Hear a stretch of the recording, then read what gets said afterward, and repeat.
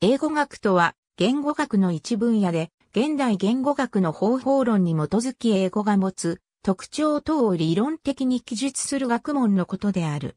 なお英語教育は通常は英語学の範囲には含めない。英語の子音の IPA 表は以下のようになる。英語の母音三角形は以下のようになる。左右の区別は左が非遠心母音、右が遠心母音。アクセントのない母音英語ではアクセントのない母音は弱化し、シュアーとして発音される。アクセントの来ない音節の角は曖昧母音になる。日本人にはあに近い音に聞こえることが多い。単語の中には品詞によって曖昧母音を用いる区別を持つものがある。曖昧母音の無音化最終音節の曖昧母音となる母音あざいなどで C 音マイメートル N、L、R が続く場合にその曖昧母音が無音化する場合がある。この場合、続く子音が音節子音化する。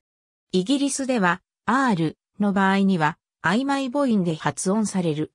日本語などの肯定アクセントとは異なり、英語はゲルマン語由来の強弱アクセントの言語である。ただし、強音は自然に高いピッチ長めの音となる。日本語は海音節言語であるが、英語は平音節言語である。音節構造は音セット開始部、ニュークリアス音聴覚のようになっている。音聴覚集結部の部分を音という。音は英語詞で極めて一般的で、ポピュラー音楽の歌詞を含めてほとんど例外なく、韻を踏んでいる。例えば、以下は、エリック・クラプトンのワンダフル・トゥナイトの一番である。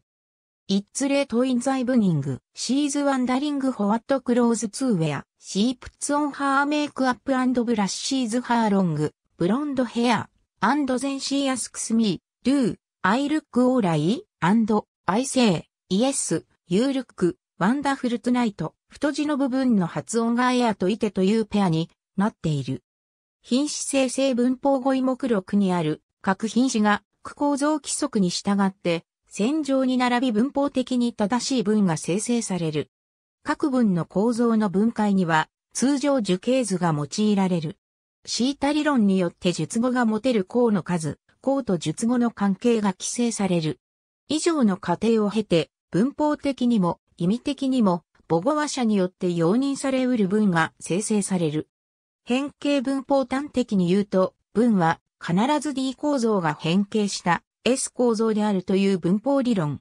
名詞及び動詞が区構造規則の枠組みを超えて上下に移動することを説明する理論。